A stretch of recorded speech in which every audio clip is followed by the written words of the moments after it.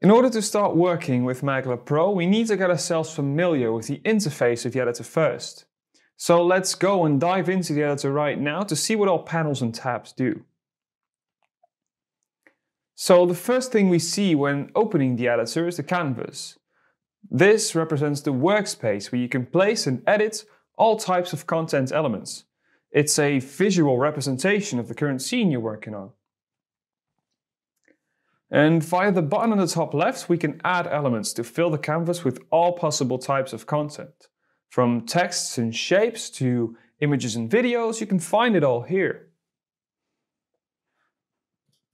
And a Maglr page can be split into scenes to divide it into multiple segments, each with their own transitions and settings in order to display exactly what your viewer sees when they're scrolling through the page.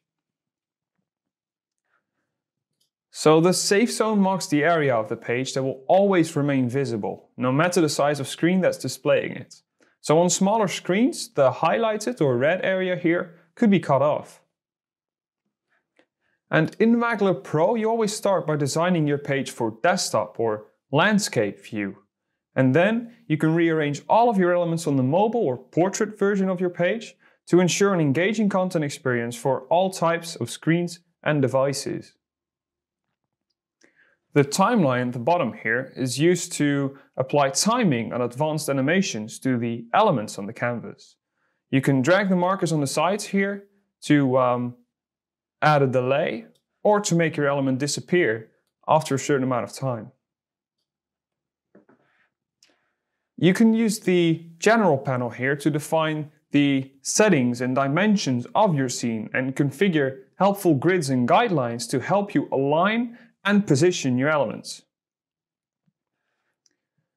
The media panel here shows all media that you uploaded to Maglr for your current project, like images and videos and all other kinds of files that you would like to show to your viewers.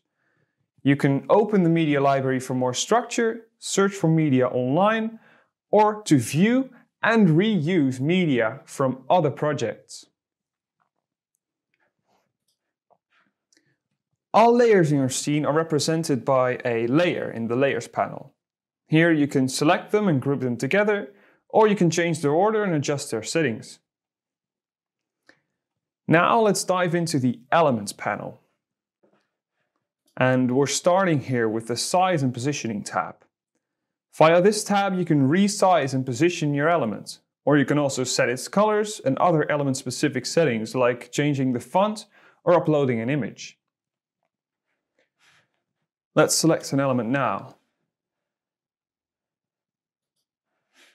Through the Animation tab, you can define the start, repeating, ending, and scrolling animation of the selected elements or even groups. And via the Effects tab, you can apply effects and hover effects to the selected elements. And then the Actions tab here allows you to make your element perform an action when the viewer either hovers or clicks it. And then last but not least, we have the Accessibility tab. Here you can structure and optimize your Maglr page for viewers of all abilities according to the WCAG accessibility guidelines. So now that we're familiar with the interface of the editor, let's dive further into page types and the safe zone in the next course.